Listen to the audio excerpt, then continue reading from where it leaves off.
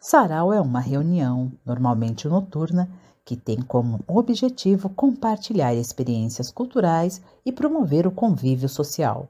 Alguns estudiosos acreditam que se trata de um galicismo moderno derivado do francês soirée, reunião noturna, mas não é esse o caso.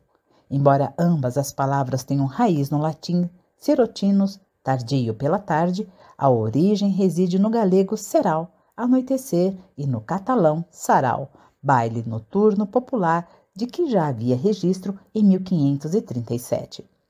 Um sarau é quase sempre composto por um grupo de pessoas que se reúne com o propósito de fazer atividades lúdicas e recreativas, como dançar, ouvir músicas, recitar poesias, conversar, ler livros e demais atividades culturais.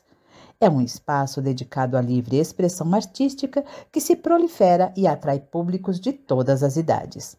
Então, privilégio de sereto público, esse tipo de encontro chegou ao Brasil em 1808 com Dom João e seguia os moldes dos salões franceses. Inicialmente, os saraus eram realizados no Rio de Janeiro, mas logo fazendeiros de São Paulo resolveram aderir à moda e já na metade do século XIX estavam espalhados por todas as capitais. Era considerada a realização mais elegante da sociedade, com direito a piano de cauda e frequentado apenas por pessoas iluminadas cultural e financeiramente.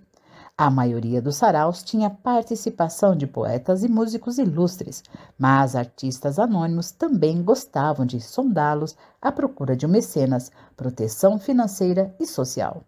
Os saraus de hoje não precisam mais de pianos de cauda, trajes a rigor e serviçais, mas de pessoas que queiram dividir música, literatura, arte visual ou multimídia.